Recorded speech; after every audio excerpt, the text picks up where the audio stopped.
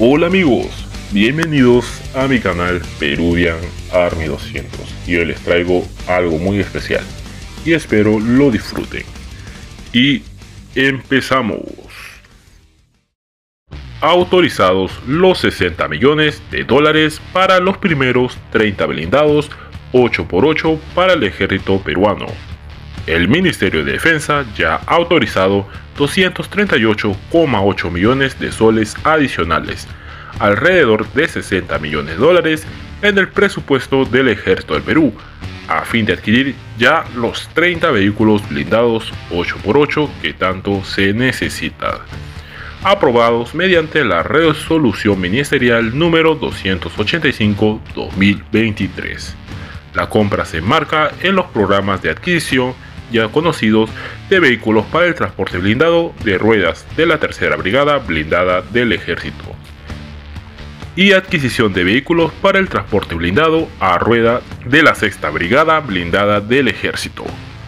Específicamente se adquirirán 18 blindados 8x8 para la Tercera Brigada Blindada Moquegua y 12 para la Sexta Brigada Blindada Tacna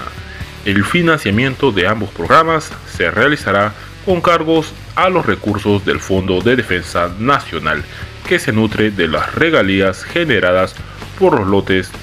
número 56 y 88 del gas de camisea, que en el 2030 se prevé que genere unos 2.700 millones de dólares. Y esto está relacionado con el programa Pachacuyuchi Ambos son partes, como indiqué, de dicho programa, que prevé la adquisición total de 120 vehículos blindados 8x8 en versión de transporte de personal APC. Inicialmente, como se informó previamente en varios sitios web, se contempla adquirir 311 vehículos de combate 8x8, 178 de transporte de personal APC y 123 de combate de infantería IFBV para reemplazar, entre otros, a los Betutos Unibody UR416 y a los Fiat Otomelara 6614G. Sin embargo, debido principalmente a los severos recortes presupuestales de los últimos años, aunado a la falta de oportunidad y la decisión política, la cifra se redujo a 120 vehículos blindados de transporte de personal APC. Entre las opciones evaluadas por el Ejército del Perú figuran el K808 de la empresa STX Corporation de Corea del Sur, el Lab 3 de la empresa General Dynamics Estados Unidos, el Rosomac de la empresa PGZ de Polonia, el Pandur 2 de Excalibur República Checa, el Lanzar 3 Serbia, y el T-Rex 1 de ST Engineering Singapur, así como los Par 3 de la empresa FNSS y Arma de Otokar, Turquía. Y de acuerdo a la información, ambas adquisiciones serán realizadas directamente por el ejército peruano, en la modalidad de Estado a Estado, aplicando la directiva DIRDEC 005, proceso de contratación bajo la modalidad de Estado a Estado para bienes y servicios, el 3 de marzo de 2023, descartándose realizar vía el convenio de cooperación firmado entre el Servicio de Material de Guerra y la fábrica de armas de municiones del ejército FAMESAC o vía la agencia de compras de las Fuerzas Armadas en la modalidad de contrataciones internacionales. Un dato muy interesante y a la vez perjudicial. A tal efecto, se ha nombrado una comisión de estudio técnico operacional que se encargará de realizar el estudio técnico operacional, mismo que comprenderá un análisis comparativo de acuerdo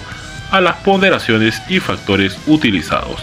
que deben ser razonables y congruentes con el objetivo de la contratación militar. Y curiosamente, días antes de darse a conocer la asignación de recursos, el portal The Korean Economic Daily Corea del Sur dio a entender que Hyundai Rotem, que oferta vía la STX Corporation una versión modificada de IFBV del K808 Tigre Blanco que comenzará a ser producidos a mediados de este año. que estaban cerrando un contrato para exportar vehículos blindados avanzados a nuestro país. Un acuerdo que marcaría la primera exportación de este tipo de armas de Corea del Sur a América Latina. Los portavoces del ejército del Perú indicaron al, medio o al sitio web defensa.com que esa información que se reprodujo en al menos dos portales especializados militares es incorrecta debido a que la Comisión de Estudio Técnico Operacional aún no ha emitido su informe, por lo que todavía hay posibilidad de que otras empresas que quieran ofrecer sus blindados 8x8 ya mencionados tengan la oportunidad de ganar,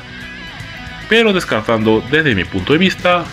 a las empresas que no den transferencias tecnológicas o vendan de segundo uso, por ejemplo podría ser el Lab 3 de General Dynamic de Estados Unidos, que ya lo ofertó anteriormente con dichas condiciones.